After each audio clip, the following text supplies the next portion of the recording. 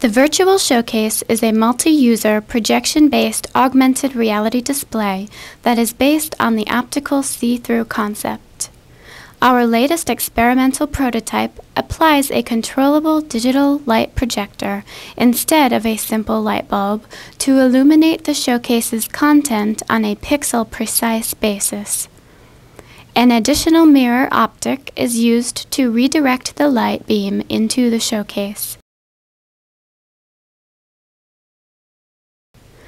Two off-the-shelf PCs are used to render the virtual objects, which are optically overlaid with real content as well as the illumination.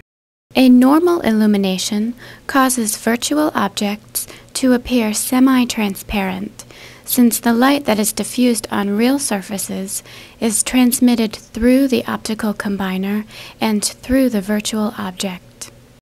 Integrating the illumination into the rendering process allows the generation of view-dependent shadows on the real surfaces wherever the graphics are overlaid. This results in realistic occlusion effects between real objects and virtual ones. Beside the viewpoint, the geometry of the real scenery has to be known to render these shadows at their correct places.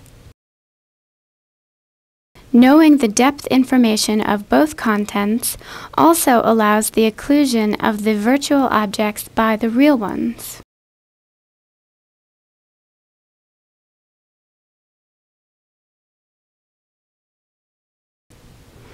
Here we show an animated content generated by a conventional game engine.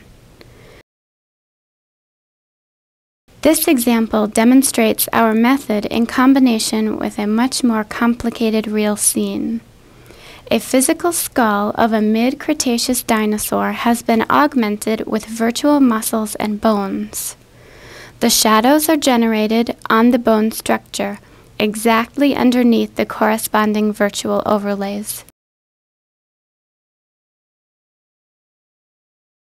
Here, the skull is covered by a virtual skin, leaving most of the bones in shadow. Only the real teeth are clearly visible.